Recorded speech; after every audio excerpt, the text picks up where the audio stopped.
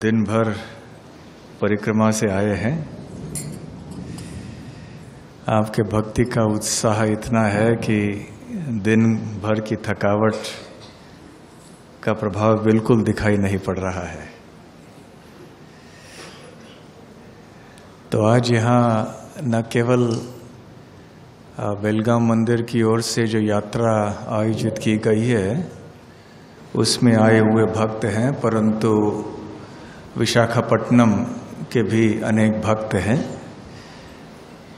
आप में से कितने भक्त विशाखापट्टनम में रहते हैं? हाथ ऊपर कीजिए। I don't know Telugu.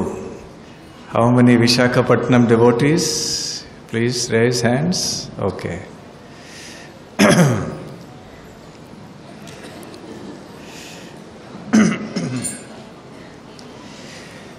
आज सुबह हम कूर्मदेव का दर्शन करके आए।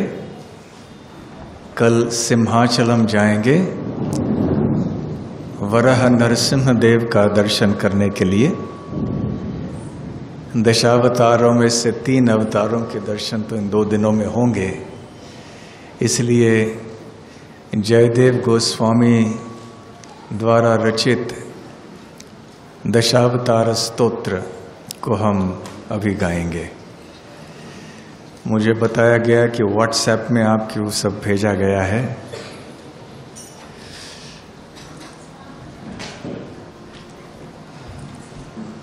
गीत गोविंद से है ये, जिसमें जयदेव गोस्वामी ने दस प्रसिद्ध भगवान के अवतारों का उल्लेख किया हुआ है।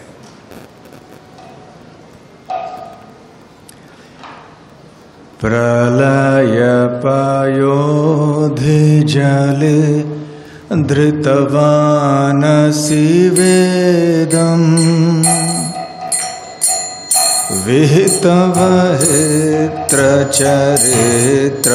विहितवहित्रचरित्रमखेदम्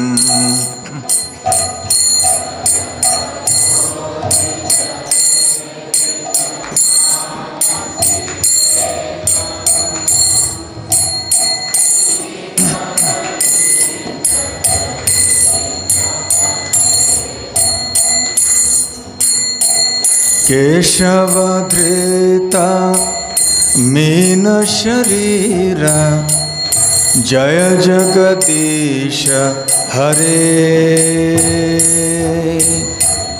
जय जगदीश हरे। जय जगदीश हरे।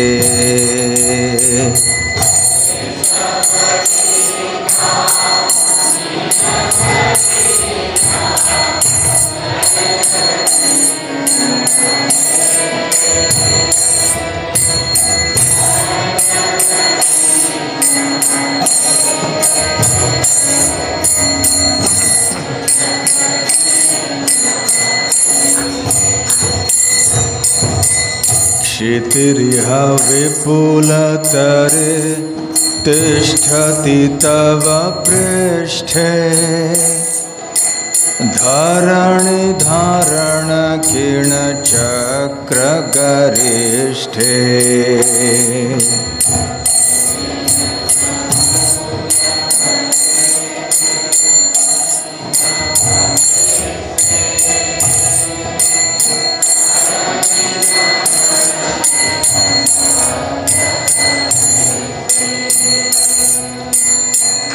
केशवधृता कूर्मशरीर जय जगदीश हरे। जय जगदीश हरे। जय जगदीश हरे।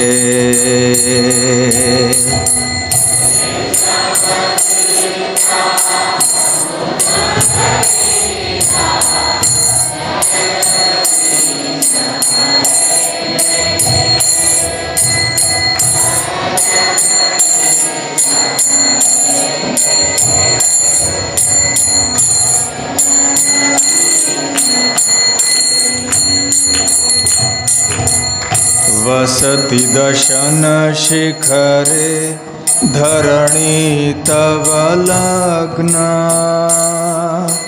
शशिनि कलङ्ककलेव निमग्ना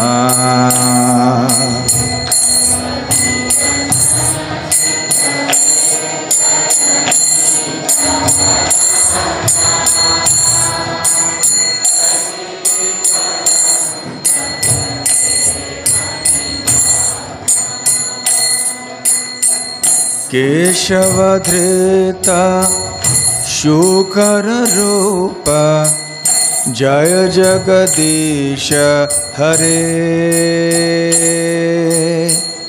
जय जगदीश हरे। जय जगदीश हरे।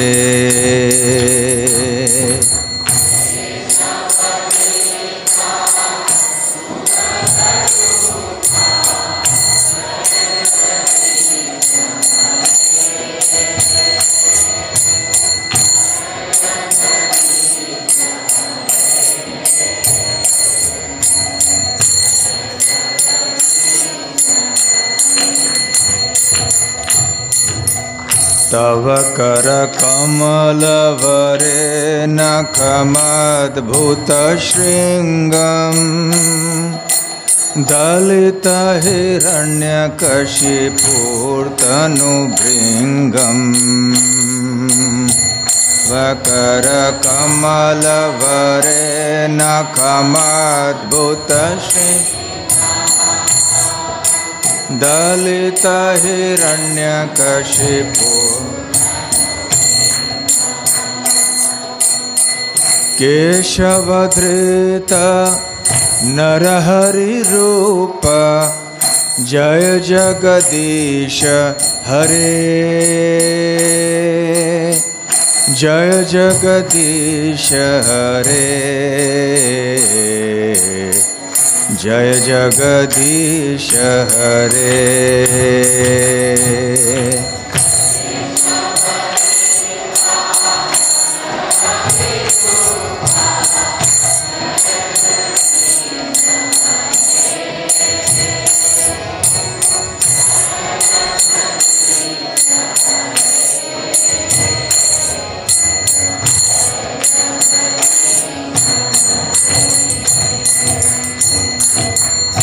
छलयसि विक्रमणे बलिमद्भुतवामन। पदनखनीरजनितजनपावन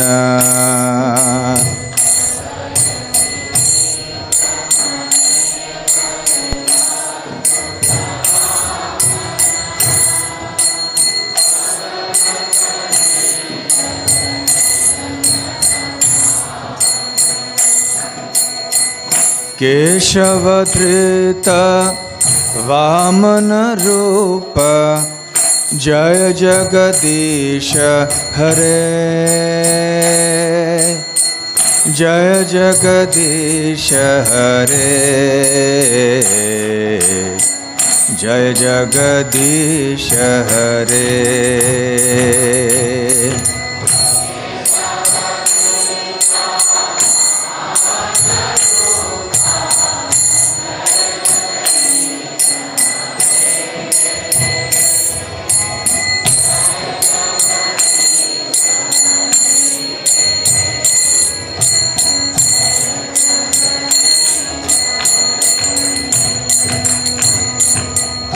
क्षत्रियरुधिरमये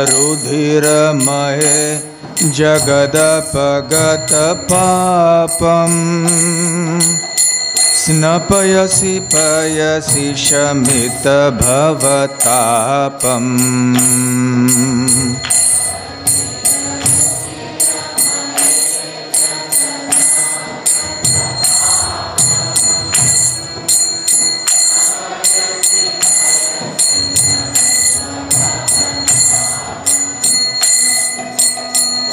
केशवधृत भृगुपतिरूप जय जगदीश हरे। जय जगदीश हरे। जय जगदीश हरे।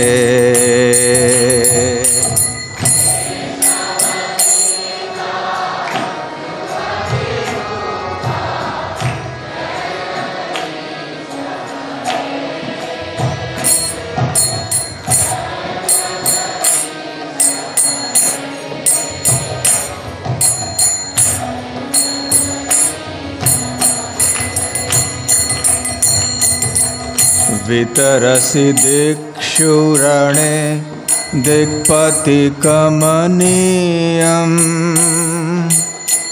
दशमुखमौलिबलिं रमणीयम्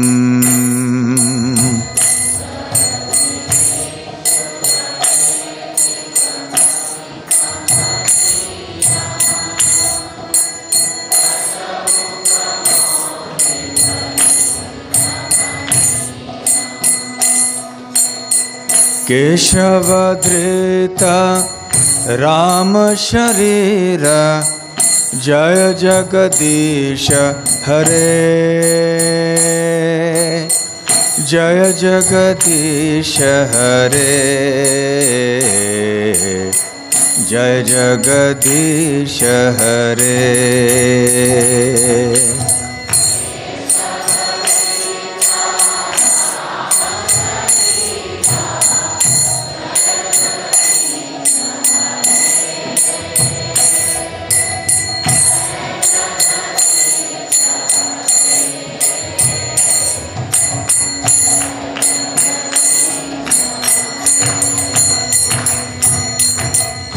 वहसि शिवपुषिविशदे वसनं जलदाभम्। हलहति भीतिमिलितयमुनाभम्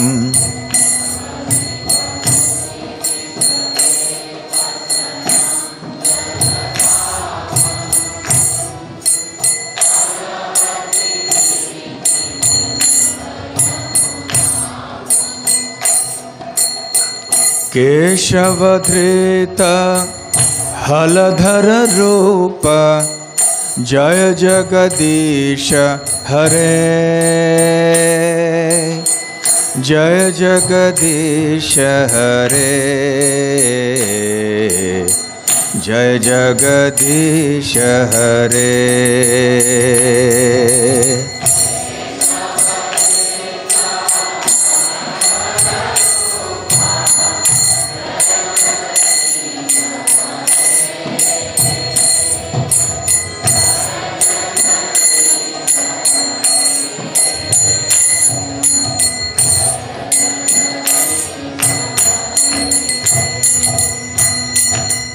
निन्दसि यज्ञविधेरहह श्रुतिजातम्। सदय हृदयदर्शितपशुघातम्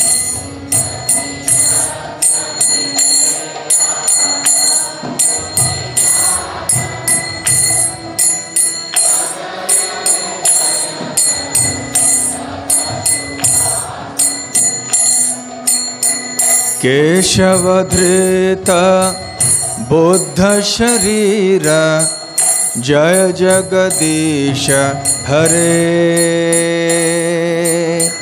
जय जगदीश हरे। जय जगदीश हरे।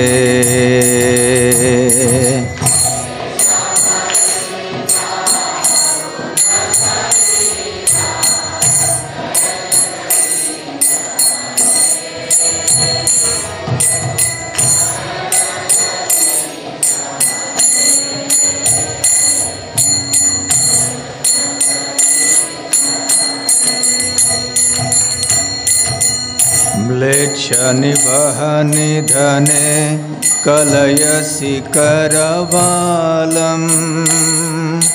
धूमकेतुमिव किमपि करालम्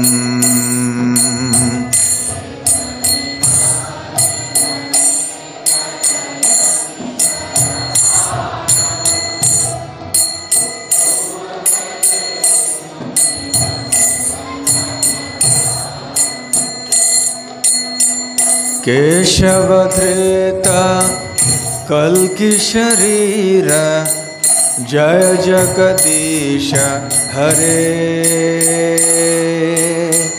जय जगदीश हरे।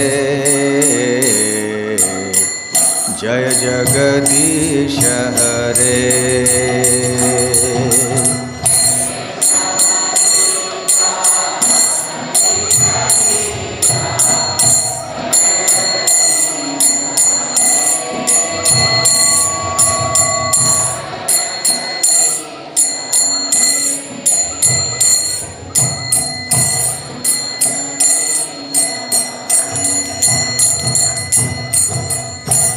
श्रीजयदेव कवेरिदमुदितमुदारम् शृणु सुखदं शुभदं भवसारम्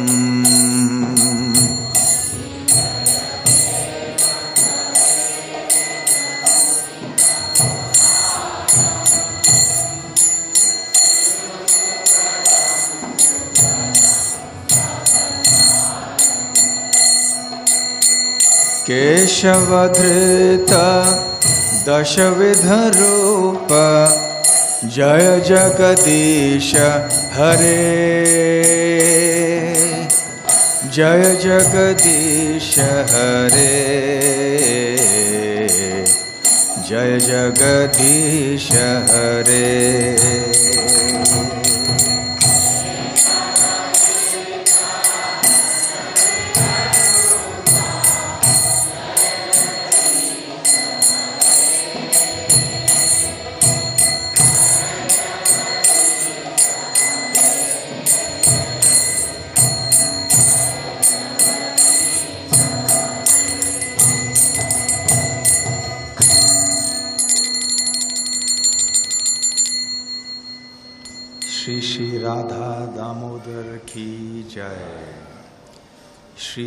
वरहदेव भगवान की जय। श्री नरसिंहदेव भगवान की जय।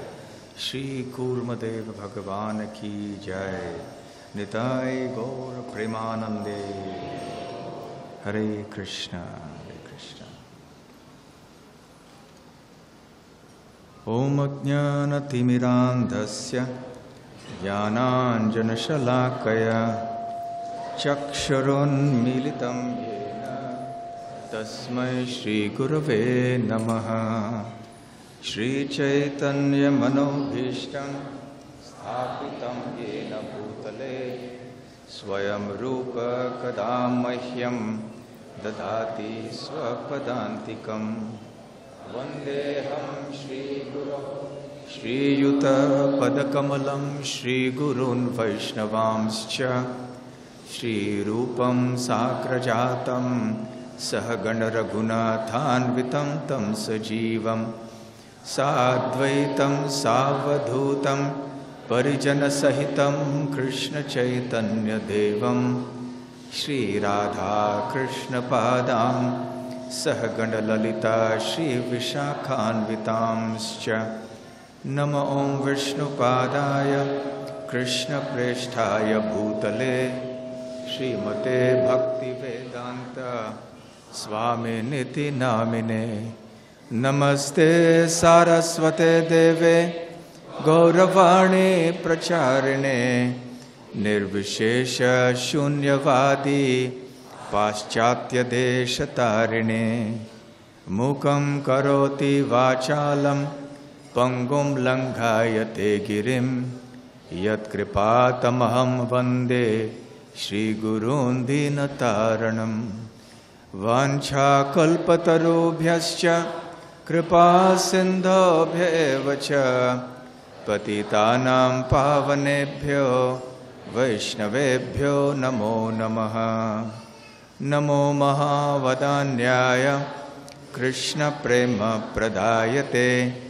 कृष्णाय कृष्णचैतन्य नाम्ने गौरत्विषे नमः पञ्चतत्त्वात्मकं कृष्णं भक्तरूपस्वरूपकं भक्तावतारं भक्ताख्यं नमामि भक्तशक्तिकं।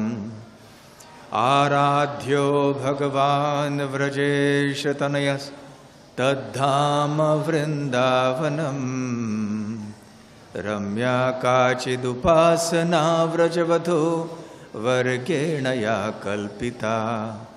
श्रीमद्भागवतं प्रमाणममलं प्रेमापुमर्थो महान्। श्रीचैतन्यमहाप्रभोर्मतमिदं तत्रादरः न परः हे कृष्णकरुणा सिन्धो दीनबन्धो जगत्पते। गोपेश गोपिकान्त राधाकान्त नमोऽस्तु ते। तप्तकाञ्चन गौराङ्गी, राधे वृन्दावनेश्वरी वृषभानुसुते देवी, प्रणमामि हरिप्रिये। जय श्रीकृष्ण चैतन्य, प्रभु नित्यानन्द, श्री अद्वैत गदाधर श्रीवासादि गौरभक्तवृन्द। हरे कृष्ण हरे कृष्ण कृष्ण कृष्ण, हरे हरे। हरे राम हरे राम राम राम, हरे हरे।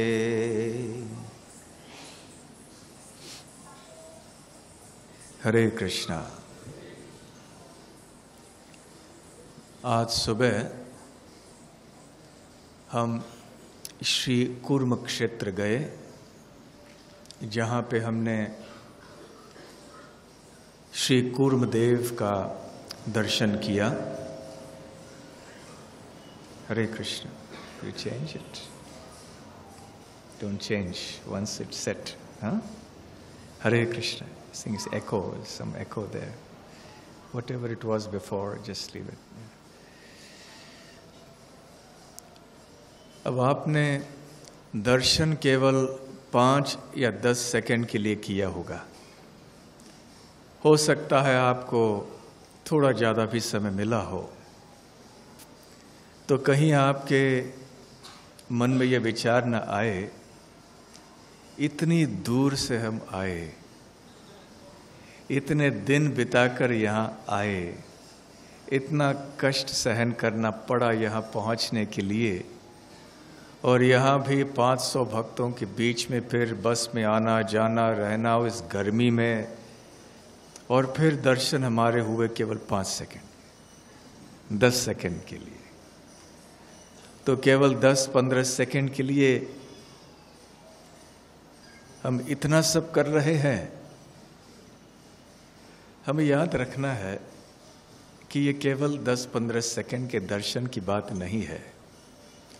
अवश्य वो तो बहुत महत्वपूर्ण है, बहुत ही मधुर है।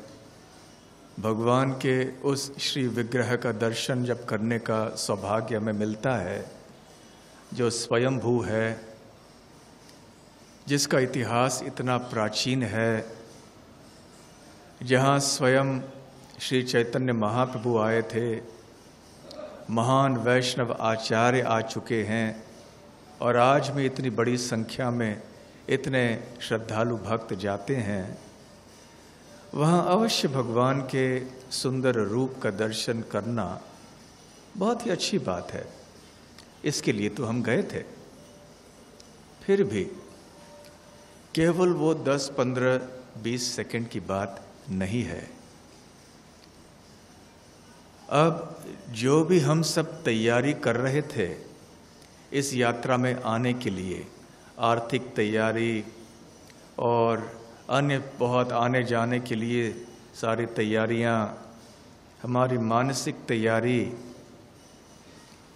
और फिर यहाँ तक आए और इतना कुछ कष्ट उठाकर आए हैं और वहाँ तक गए, ये भी हमें उस 15-20 सेकंड में गिनना चाहिए। ये भी उस 15-20 सेकंड से भिन्न नहीं है। हमें नहीं सोचना चाहिए कि केवल जो हमने 15 सेकंड का दर्शन किया है, वही मात्र मूल्यवान चीज़ है इस यात्रा में, अब तक। नहीं, ऐसा नहीं है। जैसे हम उस दिन चर्चा कर रहे थे कि जो हम भाव लेकर जाते हैं ऐसी यात्रा में, ऐसे परिक्रमा में, दर्शन में, वो भाव वास्तव में हमारे चित्त को शुद्ध करता है। दर्शन के लिए हमें तैयार करता है। वैसे तो कई पर्यटक लोग भी हैं जो जाके दर्शन कर लेते हैं, या कोई ऐसे अधिकारी व्यक्ति भी होंगे जो जाके उनका कर्तव्य है इसलिए जाके दर्शन कर लेते हैं, उनको कोई व्यवस्था करनी होती है, अपनी नौकरी है तो वो तो दर्शन कर ही लेते हैं। परंतु भाव उनका हो सकता है सही न हो तो उतना लाभ नहीं मिलता है उन्हें। भले वो लंबे समय के लिए क्यों न भगवान के सामने खड़े हों। भगवान के सानिध्य की बात केवल उनके निकट खड़े रहने से नहीं होता। भगवान के सानिध्य का अनुभव हृदय में किया जाता है। हृदय में भगवान को प्रकट कराना है तो श्रवण करना है, कीर्तन करना है, स्मरण करना है, तब जाके भगवान हमारे निकट होंगे। और ऐसे यात्राओं में आने का उद्देश्य तो वही है कि हम भगवान की ओर निकट पहुँचें। ये सब उपवास है। अब आप कहेंगे कि प्रसाद तो खूब हमने ले लिया और अब भी लेने जा रहे हैं थोड़ी देर में। परंतु उपवास का वास्तविक अर्थ है कि हम उप अर्थात निकट और वास मतलब निवास करना भगवान के निकट जाके वास करना यह है उपवास।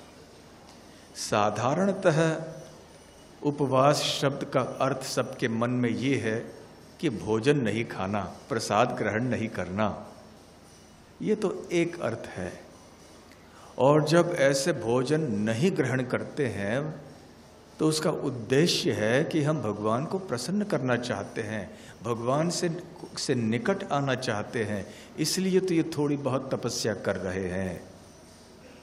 परंतु प्रसाद ग्रहण नहीं करना, ये केवल उपवास नहीं है। प्रसाद नहीं ग्रहण करना, उसके पीछे क्या भावना है, ये महत्वपूर्ण है। क्या उद्देश्य है, ये महत्वपूर्ण है। तो इसलिए हम शुरुआत से लेकर अंत तक हमें जानना चाहिए कि इस यात्रा में हर एक क्षण हमारे लिए लाभदायक है, मूल्यवान है। लंबी कतार में खड़े रहते हैं हम भगवान का दर्शन करने के लिए तो उसका हर एक क्षण भी उतना ही मूल्यवान है जितना कि वो पाँच क्षण जब हम भगवान के श्री विग्रह के सामने खड़े हो जाते हैं।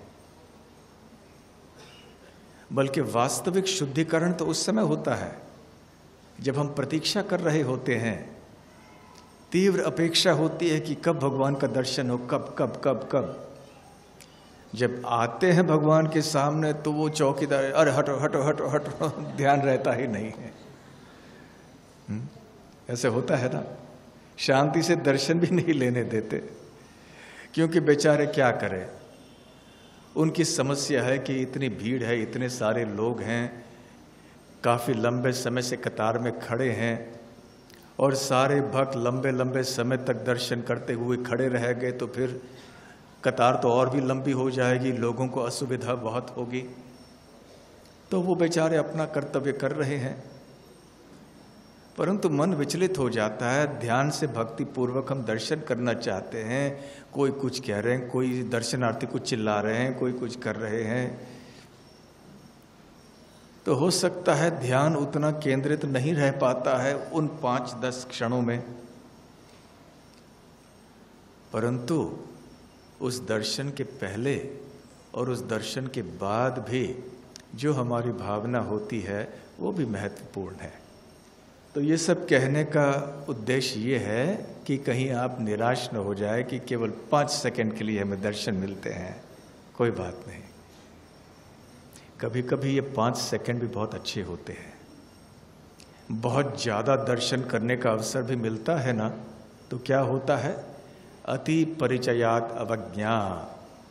अरे, हमारे यहाँ दर्शन तो रोज करते हैं।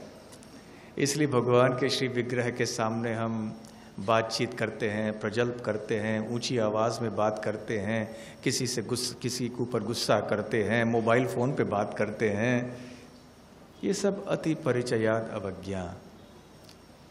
इससे बेहतर ये है कि केवल 10 सेकंड के लिए हमें दर्शन मिले, लेकिन उसकी तैयारी मानसिक रूप से हम इतनी तीव्रता से करें कि वो पाँच दस सेकंड हमारे लिए बहुत ही मज़बूत, बलवान होंगे। आध्यात्मिक पोषण के दृष्टि से। तो खैर कूर्म क्षेत्र में हमने उस मंदिर का इतिहास उस मंदिर के इतिहास के बारे में संक्षेप में सुना। उसकी विशेषताएँ क्या हैं, उनके बारे में भी हमने कुछ सुना। और ये भी सुना कि कैसे श्री संप्रदाय, विशेष रूप से श्री रामानुजाचार्य और उनके शिष्यों का कितना गहरा संबंध है उस स्थान से और उस विग्रह से।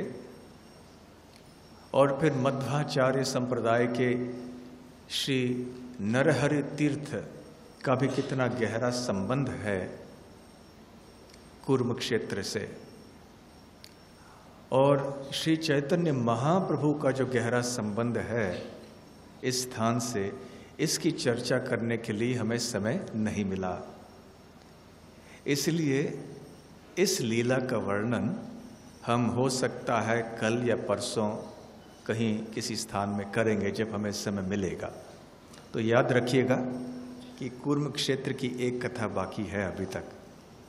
किस प्रकार से चैतन्य महाप्रभु ने कूर्म कूर्म ब्राह्मण और वासुदेव विप्र का उद्धार किया और उनको कौन से अच्छे अच्छे शिक्षाएँ प्रदान की। परंतु तो आज हम संक्षेप में चर्चा करना चाहते हैं उस स्थान का जहाँ हम कल जा रहे हैं प्रातः काल सिंहाचलम।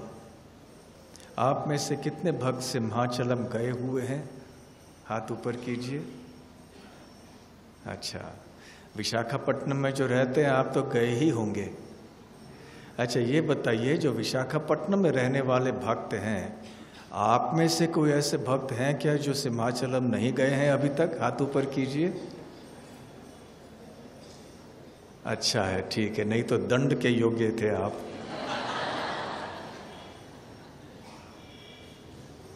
तो आप बड़े श्रद्धालु भक्त हैं। आप बहुत ही भाग्यशाली हैं कि श्री वरह नरसिंह देव के इतने निकट आप यहाँ निवास करते हैं और आपको बार बार यहाँ जाके दर्शन करने का सुअवसर मिलता है। तो सिंहाचलम, सिंह अर्थात सिंह आप जानते हैं, अचल अचल अर्थात पर्वत। तो जिस पर्वत पर नरसिंह साथ में वराह भी हैं, वो विराजमान हैं तो उस पर्वत को सिम्हाचलम कहते हैं, या सिंह गिरी भी कहते हैं। वैसे ही है श्री वरह लक्ष्मी नरसिंह मंदिर। वैसे काफ़ी ऊंचाई पर है, बहुत ज़्यादा तो नहीं, लगभग कितने 80-100 मीटर 800-800 मीटर लगभग होगा। और, बहुत प्रसिद्ध मंदिर है। इस आंध्र प्रदेश के प्रांत में, तिरुपति बालाजी के बाद में शायद ये सबसे प्रसिद्ध मंदिर है। बहुत सारे लोग, बहुत सारे दर्शनार्थी यहाँ पर आते हैं। और जहाँ तक आर्थिक परिस्थिति की बात है तो यहाँ जो धनराशि इकट्ठी होती है, वो भी तिरुपति के बाद ही दूसरे नंबर पर है। वैसे यहाँ आंध्र में 32 महत्वपूर्ण नरसिंह मंदिरों का उल्लेख हुआ है। उनमें से ये एक महत्वपूर्ण है। जब हम कल जाएँगे, हम देखेंगे कि किले के समान है ये सारा मंदिर वहाँ पे। और जिस तरह से हम आज चर्चा कर रहे थे कि श्री कुर्म क्षेत्र में भगवान पश्चिम की ओर मुख दिखा रहे हैं यहाँ मंदिर ही पश्चिम की ओर है। पश्चिम की ओर मंदिर का मुख है, क्योंकि ये एक विजय का संकेत है। और इस मंदिर में दो कुंड हैं। आज कुर्म क्षेत्र में हमने देखा, श्वेत पुष्करिणी, कितना सुंदर तालाब था, सुंदर पुष्करिणी है। तो यहाँ भी सिम्हाचलम में है। स्वामी पुष्करणी और गंगाधारा ऐसे बताया जाता है कि जिस तरह से कूर्म क्षेत्र में श्रील रामानुजाचार्य ने सारी पूजा, अर्चना विधि की स्थापना की, उसी तरह यहाँ सिम्हाचलम में भी श्रील रामानुजाचार्य ने सारी विधियों की स्थापना कर दी। और कल्याणोत्सव, चंदनोत्सव ऐसे बहुत सारे उत्सव यहाँ मनाए जाते हैं। और आप सब जानते हैं कि जब दीति और कश्यप मुनि के दो पुत्र उत्पन्न हुए, हिरण्यकश्यपु और हिरण्याक्ष तो सारे ब्रह्मांड में वो उपद्रव मचाने लगे। सब जगह जाके लोगों को परेशान करते, हैरान करते सब सारे ब्रह्मांड के नाक में दम बन गए थे वो। तो हिरण्याक्ष ने पृथ्वी को अपनी कक्षा से हटाकर नीचे रसातल के पास डाल दिया, बल्कि उससे नीचे भी। तो भगवान श्री विष्णु को वरह अवतार लेना पड़ा और उन्होंने पृथ्वी लोक को फिर नीचे से ऊपर उठाया और अपने स्थान में पुनः स्थापित कर दिया। और ये करते हुए वरह देव ने हिरण्याक्ष का वध भी किया। तो जब ऐसे हो गया तो हिरण्य कश्यप जो उनके भाई थे, वो हिरण्य कश्यप ने उपद्रव मचाना बढ़ा दिया। जब ये असहनीय हो गया देवताओं के लिए तो सारे देवगण भगवान विष्णु के पास गए। आप जानते हैं कि जब भी ब्रह्मांड के भीतर कोई उत्पात मचाता है, भक्तों को, देवताओं को कष्ट देता है, और यदि देवताओं के हाथ के बाहर मामला हो जाता है तो फिर सारे देवतागण भगवान विष्णु के पास जाते हैं, क्षीर सागर के तट पे खड़े होते हैं, तपस्या करते हैं। तो ये भी एक वैकुंठ लोक है। तो खैर वैकुंठ के द्वार पे गए सारे देवतागण। हिरण्य कश्यप के अत्याचारों की खबर भगवान तक पहुँचाने के लिए और उनसे निवेदन करने के लिए कि इसका कोई उपाय आप ढूंढ लीजिए। तो भगवान श्री विष्णु का दर्शन करने के पहले वहाँ द्वार में एक व्यक्ति खड़े थे, उनके द्वारपाल। आप तो जानते ही हैं कि जब चतुष कुमार वैकुंठ के द्वार पे पहुँचे थे, उस समय जय और विजय नाम के द्वारपालों ने उनको रोका था। और फिर थोड़ी बहस वहाँ हो गई थी।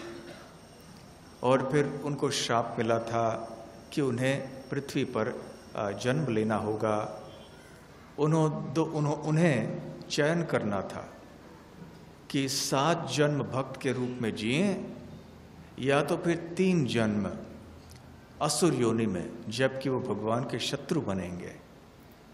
तो जय और विजय ने दूसरा उपाय चयन किया, क्योंकि वो चाहते थे कि शीघ्र शीघ्र वो भगवान के पास लौट के चले जाएँ। सात जन्म यहाँ पृथ्वी लोक में, इस भौतिक जगत में उनको बिताने की इच्छा नहीं थी। तो खैर, इस समय जब देवतागण भगवान विष्णु के द्वार में गए तो वहाँ पे एक उनके दूत थे, विष्णु दूत, जिनका नाम था सुमुख। तो सुमुख ने उनको रोका और थोड़ी बहुत बहस हो गई। देखिए, भक्तों के बीच में भी बहस हो जाती है कभी कभी सब अनुभवी हैं इस बात के, है ना? तो उस समय भगवान विष्णु को अच्छा नहीं लगा। तो उन्होंने कहा कि सुमुख, तुमने मेरे भक्तों के प्रति अपराध किया है? ये अच्छा नहीं है। तो तुम्हें नीचे जाना होगा। भौतिक जगत में, पृथ्वी लोक में जन्म लेना होगा। और देवताओं से उन्होंने कहा, मैं जानता हूँ कि आप सब क्यों यहाँ पर आए हो? तो ये सुमुख है। ये मेरे अवतार लेने का कारण बन जाएगा। और सुमुख के कारण फिर मैं हिरण्यकश्यप का वध कर लूँगा। इसलिए आप सब चिंता नहीं करना। तो जिस तरह से जय और विजय यहाँ इस भौतिक जगत में आए, भगवान की योजना से, उसी तरह से ये सुमुख, ये भी इस भौतिक जगत में आए भगवान की योजना से, उनकी इच्छा से। अन्यथा और कोई भगवान के धाम से गिर नहीं सकता।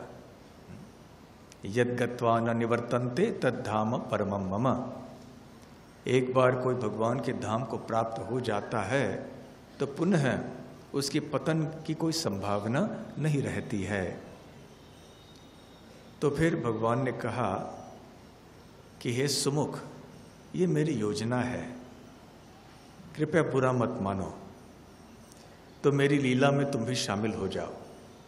तुम आगे जाके हिरण्यकश्यप के पुत्र बनोगे और तुम्हारा नाम होगा प्रहलाद हम्म। और तुम्हारी रक्षा करने के लिए मैं प्रकट हो जाऊँगा तो इस तरह से प्रहलाद का जन्म हो गया हम्म। और हम सब तो जानते हैं बार बार हमने सुना है कि किस तरह से प्रहलाद स्वाभाविक रूप से ही जन्म से ही भगवान कृष्ण के, भगवान विष्णु के भक्त थे। और ये बात हिरण्यकश्यप को बिल्कुल पसंद नहीं आई। तो बार बार समझाने का प्रयास किया हिरण्यकश्यप ने। कई बार डांटा भी।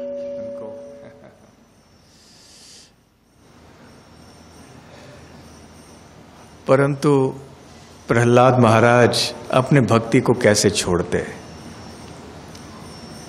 कई अपशब्द कहे हिरण्यकश्यप ने, धमकियाँ दी।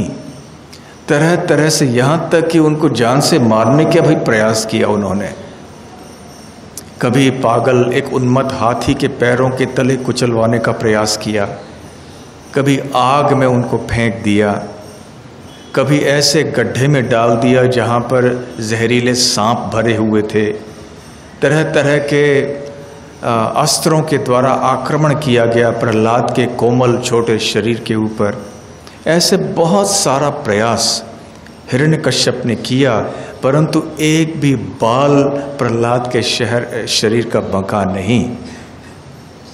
अंततः हिरण्यकश्यप ने सोचा, मुझे मामला अपने हाथ में लेना चाहिए। ये मेरे सैनिक लोग ठीक से कुछ नहीं कर पा रहे हैं। तो उन्हें इस पर्वत पर लेकर आए, जिसका नाम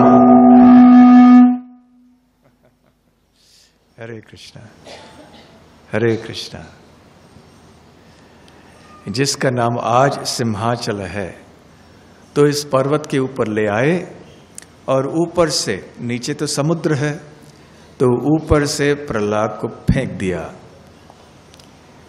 अब उस समय पर्वत और भी ऊँचा हुआ होगा। अभी 800 मीटर है। उस समय तो और भी बड़ा हुआ ऊंच, बहुत ऊँचा हुआ होगा। ये तो सत्य युग की बात है। तो वहाँ से ऊपर उन्होंने पानी में समुद्र में फेंक दिया और इसके ऊपर पहाड़ फेंक दिया।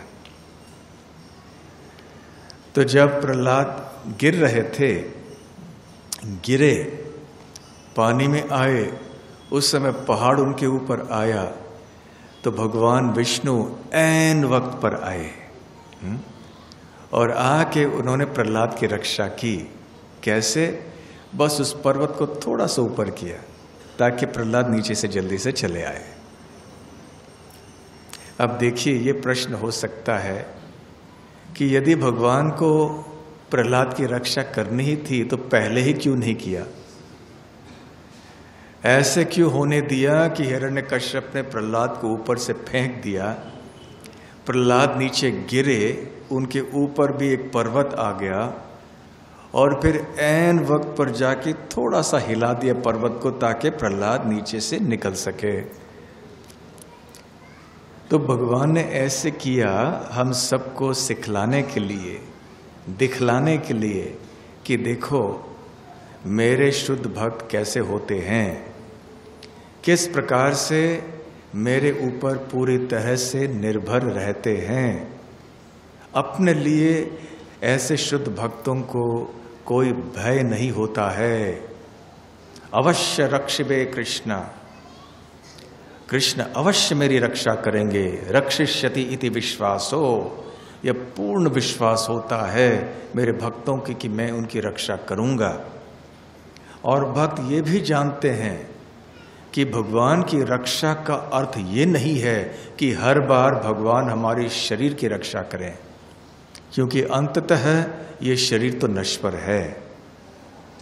यदि ये मतलब निकाला जाए भगवान की रक्षा की, कि भगवान हमारे शरीर की रक्षा हर समय करेंगे तो किसी की मृत्यु होगी नहीं, किसी भक्त की। परंतु भगवान क्यों चाहेंगे? कि उनकी शुद्ध भक्त यहाँ पे भौतिक जगत में इस भौतिक शरीर धारण करके रहें, ये कोई अच्छा स्थान तो है नहीं, कोई सुविधाजनक परिस्थिति तो है नहीं।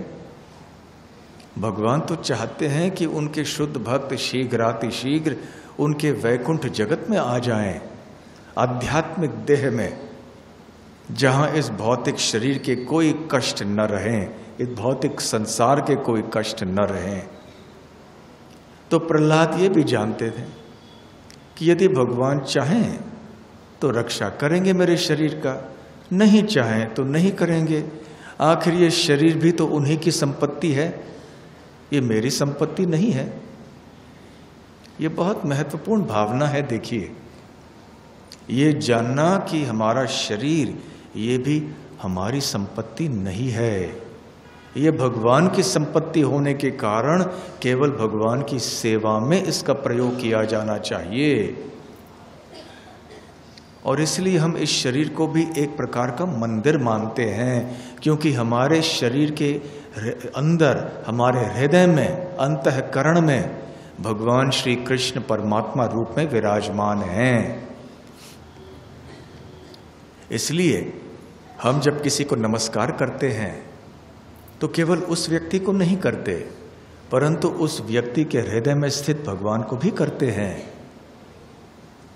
इसलिए जिस प्रकार से किसी एक दिव्य वस्तु को हम लांघ के नहीं जाते, या हम पैरों से छूते नहीं हैं, उसी तरह से किसी के शरीर को हमें लांघ के नहीं जाना चाहिए। समझ लीजिए कोई प्रणाम कर रहे हैं और हम जल्दी में हैं बहुत सारे लोग मंदिर में प्रणाम कर रहे हैं तो शरीर को लांग के हम जाएँ, ये ठीक नहीं है। एक तो ये वैष्णव है, इसलिए अपराध है, और दूसरी बात है हृदय में भगवान है तो ये मंदिर है। तो खैर, प्रहलाद जानते थे कि क्योंकि ये भगवान की संपत्ति है, भगवान उतने ही समय के लिए इस शरीर को बनाए रखेंगे, जितना कि आवश्यक है उनकी सेवा के लिए।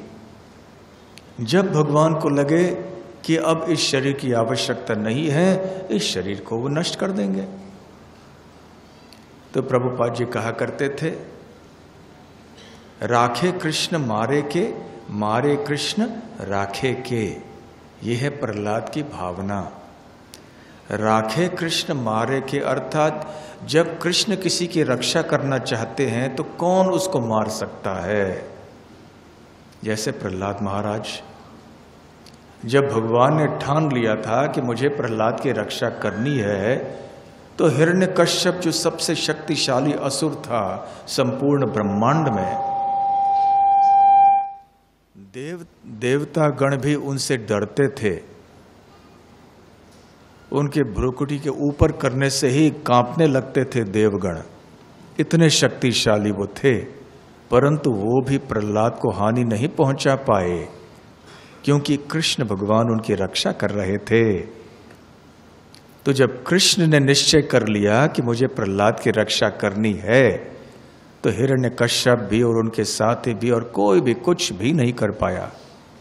दूसरी ओर, मारे कृष्ण राखे के, जब कृष्ण ठान लेते हैं कि किसी को मुझे मारना है, किसी की हत्या करनी है या असुर का वध करना है तो कौन उस व्यक्ति को बचा सकता है? जैसे कि हिरण्यकश्यप के साथ में हुआ। हिरण्यकश्यप ने सोचा कि वो बहुत बुद्धिमान है। ऐसे वरदान मांग लिया ब्रह्मा जी से। उन्होंने सोचा कि वो पीछे के दरवाजे आके अमृतत्व की अवस्था को प्राप्त करेंगे। सामने वाले दरवाजे तो प्रवेश नहीं मिला। ब्रह्मा जी से उन्होंने पूछा था, वरदान, जब ब्रह्मा ने कहा कि मैं बहुत प्रसन्न हूँ। क्या वरदान चाहते हो हिरण्यकश्यपु? तो हिरण्यकश्यप ने कहा था, मैं अमृतत्व चाहता हूँ, अमर होना चाहता हूँ। तो ब्रह्मा जी ने कहा यह संभव नहीं है, मैं स्वयं अमर नहीं हूँ तो मैं कैसे तुम्हें ये वरदान दे सकता हूँ? और कुछ मांगो। तो सामने के दरवाजे से अमृतत्व के जगत में प्रवेश नहीं ले पाए, कर पाए हिरण्यकश्यप अब पीछे के दरवाजे से जाना चाहते थे। एक ऐसे वरदान मांग के जो सोच रहा था हिरण्यकश्यप कि मैं इतना बुद्धिमान हूँ, ऐसे वरदान मांगूँगा कि कोई भी मेरी हत्या नहीं कर पाएगा। किसी भी अवस्था में नहीं होगी मेरी मृत्यु। अंदर नहीं, बाहर नहीं, ऊपर नहीं, नीचे नहीं, जल में नहीं, भूमि पर नहीं, हवा में नहीं, देवगणों से नहीं, यक्षों से नहीं, राक्षसों से नहीं, इत्यादि इत्यादि। रात में नहीं, दिन में नहीं, अस्त्र से नहीं, हाथों से नहीं। बहुत से ऐसे शर्त उन्होंने रखे और ब्रह्मा जी ने स्वीकार कर लिया तथास्तु। अब हिरण्यकश्यप सोच लगे, अब मैं अमर हो गया। अब मेरी हत्या कोई नहीं कर सकता। परंतु भगवान आए ना नरसिंह देव के रूप में, और कैसे उन्होंने हत्या कर दी? ब्रह्मा जी के मान को रखा और कहा कि, ब्रह्मा जी देखिए, मैं मान तो रख रहा हूँ, आप मेरे महान भक्त हैं, और इस ब्रह्मांड के पहले दीक्षित भक्त हैं, सबसे वरिष्ठ भक्त हैं आप, सबसे पहले ब्राह्मण हैं आप और आप आचार्य हैं, सृष्टिकर्ता हैं तो आपका अपमान होगा तो मेरे अपमान, मेरा ही अपमान होगा। ये ठीक नहीं है तो मैं आपका मान रखूँगा। लेकिन कृपया ऐसे वरदान देने के पहले थोड़ा सोच के दीजिए। हाँ ऐसे बस वरदान दे दिया तो मुश्किल हो जाता है। लेकिन भगवान इतने बुद्धिमान हैं कि वो कोई ना कोई रास्ता अवश्य निकाल लेते हैं, और उन्होंने निकाला। हम सब जानते हैं ये कथा कितनी बार हम सुन चुके हैं। तो क्योंकि भगवान ने ठान लिया था कि उन्हें हिरण्यकश्यप को मारना है तो मार ही डाला उन्होंने। कितने सारे वरदान हिरण्यकश्यप को मिले थे, उनकी कोई परवाह न करते हुए और उनका उल्लंघन न करते हुए भगवान ने नरसिंह रूप धारण करके हिरण्यकश्यप का वध कर दिया। तो प्रहलाद ये जानते थे, राखे कृष्ण मारे के, मारे कृष्ण राखे के। तो यदि भगवान अनुमति इस बात के लिए दे रहे हैं कि मेरा शरीर फेंका जाए इस पहाड़ के ऊपर से समुद्र में, और इस तरह से यदि मेरी मृत्यु होनी है, और ये भगवान की इच्छा है, और मेरे ऊपर ऐसे पहाड़ गिर पड़े तो वही सही। ये है शरणागति। शरणागति का आदर्श है हमारे लिए। भले हम इसका अनुकरण हमें नहीं करना चाहिए, परंतु अनुसरण तो करना चाहिए। उनके पद चिन्हों में चलने का प्रयास करना चाहिए। प्रहलाद महाराज जैसे भक्त हमारे लिए प्रेरणा स्रोत होते हैं। हमारे जीवन की छोटी छोटी समस्याओं में प्रहलाद महाराज की बड़ी बड़ी समस्याओं को याद कर सकते हैं। और सोच सकते हैं कि ऐसे विकट परिस्थितियों में भी उनकी भावना कैसी रही। तो इसलिए भगवान विष्णु एन वक्त तक रुके और फिर जाके केवल पहाड़ को थोड़ा सा ऊपर किए ताकि प्रहलाद आ सके।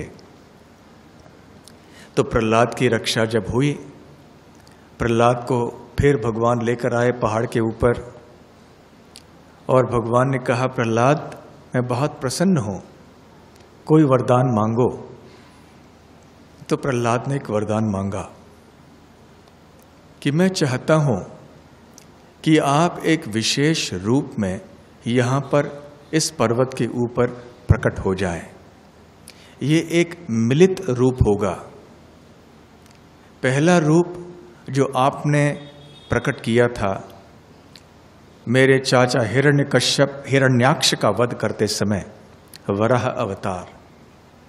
और दूसरा रूप होगा जो अब आकर थोड़े समय बाद प्रकट करेंगे जब आप मेरे पिता हिरण्य कश्यप का वध करेंगे। तो इन दोनों रूप का एक दो, दोनों अवतारों का एक मिलित रूप आप यहाँ पर प्रकट कीजिए। तो भगवान बहुत प्रसन्न हुए। अपने शुद्ध भक्तों की बात कैसे मना कर सकते हैं? तो कहा, तथास्तु प्रहलाद। और इस तरह से ये सुंदर वरह लक्ष्मी नरसिंह रूप प्रकट हुआ। तो सर जो है, ऊपर का भाग वराह का है, बीच का जो है मनुष्य का है, और नीचे का भाग है सिंह का है। तो ये है विशेष रूप, जो भगवान ने धारण किया वराह नरसिंह भगवान का रूप, जो सिंहाचल के मंदिर में है। तो प्रहलाद ने सुंदर मंदिर की स्थापना वहाँ की। कब की? जब हिरण्यकश्यप का वध हुआ तब। उसके बाद यहाँ पर प्रहलाद आए और उन्होंने यहाँ पर विग्रह की स्थापना की और मंदिर भी, मंदिर का निर्माण भी किया। लेकिन याद रखिए, ये तो सत्य युग की बात थी। इतने वर्ष बीत गए और तब तक बालू और मिट्टी और हवा के कारण, पानी के कारण वो सारा मंदिर जो है वो ढक गया और दिखाई नहीं पड़ रहा था। एक बार सोमवंशी राजा पुरुरव, जिनका उल्लेख श्रीमद् भागवतम में भी होता है, वो वहाँ से उर्वशी नाम के अप्सरा के साथ अपने पुष्पक विमान के ऊपर सवार होकर जा रहे थे। तो जब वो आए सिंहाचल पे, उस समय उनको पता नहीं था कि इसका आध्यात्मिक महत्व क्या है। वो रमणीय स्थान था तो वहाँ बैठ के आराम कर रहे थे। उस समय एक आकाशवाणी हुई, जिसमें राजा पुररव और उर्वशी को बताया गया कि यहाँ पे एक बहुत विशेष मूर्ति है। तो यहाँ पे जितनी मिट्टी भरी है, बालू वगैरह है, उसे निकलवाओ। यहाँ एक मंदिर है और सुंदर विग्रह है। उसको पुनः स्थापित करके इसकी सेवा प्रारंभ कीजिए। एक दूसरे वर्णन में ऐसे बताया गया है कि उर्वशी या पुरुरव के स्वप्न में भगवान आए, कह, जो भी हो। और ये भी उर्वशी के स्वप्न में बताया गया कि मेरे शरीर के ऊपर आपको चंदन का लेप लगाना होगा। तो राजा पुरुरव और उर्वशी ने फिर यहाँ खुदाई शुरू कर दी और वास्तव में देखा कि अरे, इतना सुंदर मंदिर लेकिन बहुत प्राचीन था, इसलिए ठीक नहीं था वो मंदिर। मंदिर की दशा ठीक नहीं थी। विग्रह तो बहुत सुंदर थे फिर पुरुरव राजा ने एक नया मंदिर बनवाया वहाँ पर। और वहाँ पर वो दोनों सेवा करने लगे काफ़ी लंबे समय तक। और जैसे भगवान ने आदेश दिया था कि उनको उनके शरीर के ऊपर प्रतिदिन चंदन का लेप लगाया जाए तो वैसे ही आ, किया जाने लगा। और अनेक वर्षों तक ऐसी आ, उपासना और आराधना वहाँ होती रही। जब पुरुरव ने भगवान का श्री विग्रह देखा तो उन्होंने देखा कि अरे, इनके चरण कमल हैं ही नहीं, दिखाई नहीं दे रहे हैं। तो भगवान ने कहा, परवाह नहीं करना। मैं सारे लोगों का उद्धार करने के लिए योग्य हूँ, भले मेरे चरण कमल दिखाई नहीं पड़े तो भी। जैसे भगवान जगन्नाथ के भी चरण कमल नहीं दिखाई पड़ते हैं ना? परंतु फिर भी वो पूरी तरह से सक्षम है। सबका उद्धार करने के लिए। तो खैर, इस तरह दोबारा मंदिर का निर्माण हुआ, सेवा प्रारंभ हुआ और बहुत समय ऐसे बीत गया। और ये प्रथा आज तक भी चल रही है? और ये प्रथा ये है कि प्रतिदिन चंदन का लेप लगाया जाता है और अगले दिन जब चंदन का लेप लगाया जाएगा तो पिछले दिन जो चंदन लगाया था, उसको निकाला नहीं जाता। उसके ऊपर लगाया जाता है दूसरा लेप, और तीसरे दिन का लेप उसके ऊपर। ऐसे करते करते तीन दिन साल के बीतते हैं, या 360 समझिए, क्योंकि ये चंद्र के दिन दर्शिका के हिसाब से है। तो लगभग 360 दिन या उनसठ दिन बीत जाते हैं। केवल एक दिन पर ये चंदन जो है, वो निकाला जाता है और वो है अक्षय तृतीय के दिन, वैशाख महीने के तृतीय तिथि पर। तो यहाँ इस दिन क्या होता है, इस मंदिर में? भगवान का जो निज रूप है, उसका दर्शन होता है।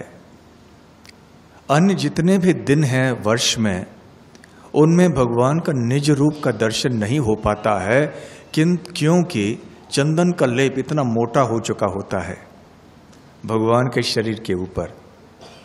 तो अवश्य उनका रूप तो देखते हैं, परंतु चंदन का लेप ही ज़्यादा दिखाई देता है। परंतु इस एक दिवस पर, और वो भी केवल बारह घंटों के लिए, अक्षय तृतीय के दिवस पर, ये चंदन निकाला जाता है। और फिर सबको प्रसाद रूप में बांटा जाता है। और बारह घंटों के लिए दर्शनार्थी आके भगवान श्री वराह नरसिंह देव के निज रूप का दर्शन, मूल रूप का दर्शन कर सकते हैं। बहुत भीड़ होती है वहाँ, अक्षय तृतीय के दिन। अब ये एक प्रथा थोड़ी बहुत विचित्र है, क्योंकि अन्य वैष्णव मंदिरों में अक्षय तृतीय के दिन चंदन का लेप लगाया जाता है। और यहाँ इस मंदिर में चंदन का लेप निकाला जाता है। अक्षय तृतीय का दिन जो होता है, ऐसे माना जाता है कि साल में सबसे गर्म दिन होता है। गर्मी इतनी ज़्यादा होती है और चंदन यात्रा भी प्रारंभ होता है ना? तो चंदन यात्रा के समय भगवान के दिव्य शरीर के ऊपर चंदन का लेप लगाया जाता है। उनको ठंडक पहुँचाने के लिए। तो अक्षय तृतीय के दिन जानबूझकर विशेष रूप से चंदन लगाया जाता है भगवान के शरीर के ऊपर, परंतु इस मंदिर में केवल अक्षय तृतीय के दिन चंदन निकाला जाता है। तो खैर, ऐसे प्रथा चलती रही चलती रही। फिर लगभग ग्यारहवें शताब्दी में मतलब एक लगभग हज़ार वर्ष पूर्व दो हाँ ए, एक हज़ार वर्ष पूर्व श्रील श्रील रामानुजाचार्य सिंहाचलम में भी आए थे। और देखिए आश्चर्य की बात यह है कि क्योंकि चंदन का लेप लगाया हुआ होता है इस विग्रह के ऊपर तो बाह्य दृष्टि से यहाँ भी ऐसे प्रतीत होता है कि ये शायद शिवलिंग है। आपको याद होगा कि श्री कूर्म क्षेत्र के बारे में यही चर्चा आज सुबह हो रही थी कि कूर्म देव का शरीर एक शिवलिंग की तरह दिखाई पड़ता है तो अनेक लोगों ने उस समय ये मान लिया था कि ये शिवलिंग हैं और ये कूर्म भगवान नहीं है। परंतु श्रील, श्रीपाद रामानुजाचार्य ने वह आके ये स्थापित किया कि वास्तव में ये कूर्म भगवान हैं और ये शिवलिंग नहीं है। तो वैष्णव पद्धति से फिर वहाँ आराधना प्रारंभ हुई। तो ठीक उसी प्रकार से जब रामानुजाचार्य यहाँ पर आए तो उस समय भी लोग ऐसे मानते थे कि ये भी शिवलिंग की तरह दिख रहे हैं। हो सकता है इतने लाखों लाखों साल बीतने के बाद वो ज्ञान लुप्त हो चुका होगा। समय के प्रभाव से कई बार प्रथाएँ बदल जाती हैं। मंदिर भी जब ढक जाते हैं तो फिर प्रथाओं के बदलने की बात तो दूर रही। वो तो निश्चित ही संभव है। तो पहले एक ऐसी कथा है, कई वैष्णव इस बात को मानते हैं, कई नहीं मानते हैं। परंतु ऐसे बताया जाता है कि रामानुजाचार्य ने कहा कि ये प्रतिदिन क्यों चंदन लगाना चाहिए? परंतु जब चंदन निकालने का प्रयास किया गया तो उस समय विग्रह के शरीर से खून बहने लगा और सभी लोग समझ गए कि भगवान कह रहे हैं कि मुझे चंदन का लेप लो, रोज लगाना ही चाहिए। फिर रामानुजाचार्य ने क्षमा याचना की। परंतु खैर, ये थोड़े लोग कहते हैं, थोड़े लोग नहीं मानते हैं। जो भी हो, ये एक प्रथा है। फिर यहाँ पे श्रील रामानुजाचार्य ने भी वैष्णव पद्धति से, श्री वैष्णव पद्धति से अर्च विग्रह की स्थापना करना प्रारंभ किया और आज भी उनके अनुयायी हैं, उनके शिष्य के वंशावली में आने वाले जो श्री वैष्णव पुजारी हैं, वो वहाँ सेवा करते हैं। जब रामानुजाचार्य वहाँ पर आए तो उस समय वहाँ पर सिंहाचल में एक कवि और संगीतकार निवास किया करते थे। जिनका नाम था कृष्णमाचार्युलु। वो बहुत सुंदर गीत गाते थे भगवान वराह नरसिंह को प्रसन्न करने के लिए। और इतने प्रसन्न होते थे भगवान कि वो स्वयं नृत्य करते थे। तो जब ऐसे सब होने लगा तो तो इनके हृदय में कृष्णमाचार्युलु के हृदय में थोड़ा सा अहंकार उत्पन्न होने लगा और अन्यों के साथ उनके व्यवहार में बदलाव आ गया और वो अपने आप को विशेष मानने लगे। देखिए, कितना खतरा है आध्यात्मिक जीवन में भी। ऐसे उपनिषदों में बताया गया है कि आध्यात्मिक जीवन भी एक दो तरफी तलवार है, जिसके दोनों तरफ़ में धार है। वैसे तलवार के एक तरफ़ में धार होता है, परंतु आध्यात्मिक जीवन ऐसे है जिसमें दोनों तरफ़ से धार है। इसलिए हमें बहुत सावधान रहना चाहिए। भक्ति अच्छी नहीं करेंगे ठीक ठाक करेंगे तो भगवान सर पे ठोकर मारते हैं। ठीक से करो, कोई दुख भेजते हैं जिससे हम उनके शरण में फिर से जाएँ। और बहुत अच्छी तरह से भी भक्ति करते हैं तो खतरे तब भी आ सकते हैं। हो सकता है अच्छे भक्ति करने के कारण हमें सफलता मिले, यश मिले, प्रशंसा लोग हमारी करने लगें वाह वाह करने लगें कि आप कितने अच्छे भक्त हैं, आपने कितनी अच्छी सेवा की है। तो हो सकता है कि हमारे हृदय में अहंकार उत्पन्न हो जाए। और जब अहंकार उत्पन्न हो जाता है और हम सावधान नहीं रहते हैं तो हो सकता है कि हम धीरे धीरे से मानने लगें कि यही भक्ति है, कि लोगों को चाहिए कि वो मेरी प्रशंसा करें, कि मुझे सम्मानित करें। तो इनके साथ भी कृष्णमाचार्युलू के साथ ऐसे हुआ। और जब श्री रामानुजाचार्य वहाँ पर आए तो इन्होंने श्रीपाद रामानुजाचार्य के प्रति अच्छा व्यवहार नहीं किया। रामानुजाचार्य नम्र थे, उन्होंने उनसे पूछा कि आप भगवान के इतने निकट हैं, इतने सुंदर गीतों की रचना आप करते हैं और गीत इतने सुंदर ढंग से, मधुर ढंग से गाते भी हैं, स्वयं भगवान भी इतने भाव विभोर हो जाते हैं। तो कृपया आप भगवान से जाके पूछिए, श्री वराह नरसिंह देव से जाके पूछिए कि मेरी मुक्ति कब होगी? जन्म मृत्यु के चक्र से मेरा छुटकारा कब होगा? तो कृष्णमाचार्युलु गए और उन्होंने पूछा कि रामानुजाचार्य पूछ रहे हैं कि उनकी मुक्ति कब होगी? तो भगवान ने जवाब दिया कि इस जन्म के अंत में होगी। निश्चित ही होगी, इतना ही नहीं वो अनेक लोगों का उद्धार करेंगे, उनको मुक्त करेंगे। तो उनकी मुक्ति की बात तो क्या कहना? जब वो इतने शक्तिशाली हो जाएँगे आध्यात्मिक दृष्टि से कि हज़ारों की संख्या में लोगों का उद्धार करेंगे, उनको भवसागर से मुक्त करेंगे तो क्या वो स्वयं मुक्त होने के लिए योग्य नहीं होंगे? निश्चित ही होंगे। तो फिर कृष्णमाचार्य ने अपने बारे में पूछा कि मेरी मुक्ति कब होगी? बोले, इस जन्म में नहीं होगी। तो गुस्सा आया उनको। उन्होंने श्राप दे दिया। भगवान को ही श्राप दे दिया। और कहा कि आपके मंदिर के ऊपर आक्रमण होगा। और कई लोग ऐसे कहते हैं, फिर 800 साल बाद मुगलों का, यवनों का आक्रमण हुआ। शायद ये इनके श्राप के वजह से हुआ होगा, आखिर वो भक्त थे ना। तो भगवान भी उस बात को मान लेते हैं कि चलो भाई, मेरे भक्त ने ही ऐसे श्राप दिया है तो उसको सत्य करना है। तो इस वर्णन, इस लीला, इस कथा में भी थोड़े भिन्न मत हैं। कई लोग हैं जो इस कथा को नहीं मानते हैं, कई लोग मानते हैं। जो भी हो, चाहे ये कथा सत्य हो या न हो सीखने लायक बातें बहुत बहुत सारी हैं इस कथा में। तो इस तरह यहाँ ये प्रथा आज तक भी चल रही है।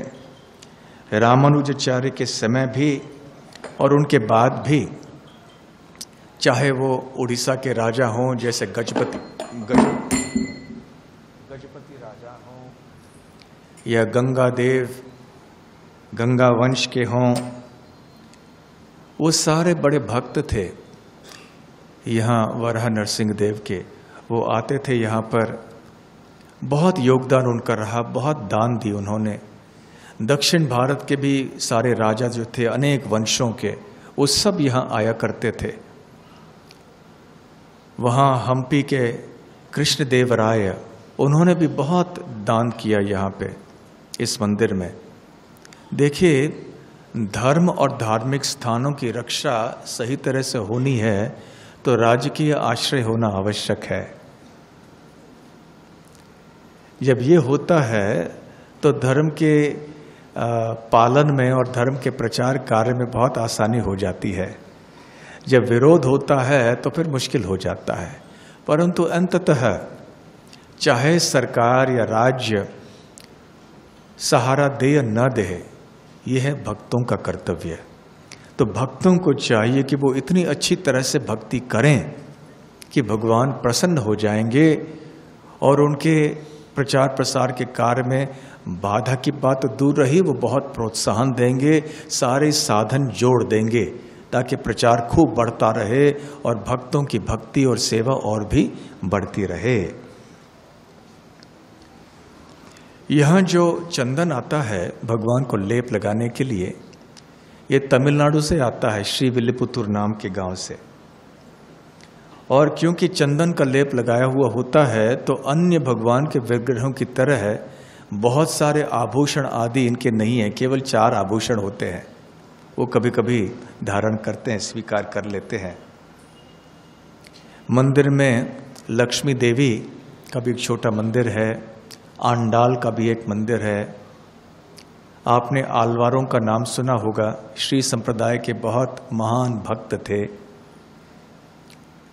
तमिल भाषा में आलवार का अर्थ है जो उन्मत्त हैं भगवत प्रेम में। तो इन बारह महान भक्तों में से एक महिला थी जिनका नाम था अंडाल तो उनकी भी मूर्ति यहाँ पे है। और शिव जी भी वहाँ भैरव रूप में विराजमान है बाहर। क्योंकि वो इस क्षेत्र के पालक हैं, क्षेत्रपाल। ऐसे देखा जाता है कि जितने भी महत्वपूर्ण वैष्णव स्थान हैं, उनमें भगवान शिव अवश्य क्षेत्रपाल के रूप में रखवाली करते हैं, अयोग्य लोगों को दूर रखते हैं। इसलिए लोग जब यहाँ वरह नरसिंह देव का दर्शन करने जाते हैं तो अनेक लोग पहले भैरव का दर्शन करते हैं, फिर वरहा नरसिंह देव का दर्शन करते हैं। विग्रह की ऊंचाई लगभग अढ़ाई फुट है। त्रिभंग रूप में वो खड़े हैं और उनके दोनों तरफ़ भूदेवी और श्री देवी हैं, जो कमल पुष्प को धारण किए हुए हैं। यहाँ पर चैतन्य महाप्रभु भी आए थे। समय क्या हुआ अभी? अच्छा आठ बज गए। तो शायद आज सभी लोग अब बहुत थके हुए हैं, सुबह से निकले हुए हैं, अपने कमरों में भी शायद आप नहीं गए। तो जैसे कूर्म क्षेत्र की चर्चा में ये हुआ कि चैतन्य महाप्रभु ने जो वहाँ लीलाएँ की, उनका वर्णन करने के लिए समय नहीं मिला। तो आज यहाँ पे भी इस समय जो चैतन्य महाप्रभु ने लीलाएँ सिंहाचल में की उनका वर्णन करने के लिए अब समय नहीं है, लेकिन चिंता की बात नहीं है। आने वाले एक, दो, तीन दिन में अवश्य इन दोनों लीलाओं का वर्णन हम करेंगे।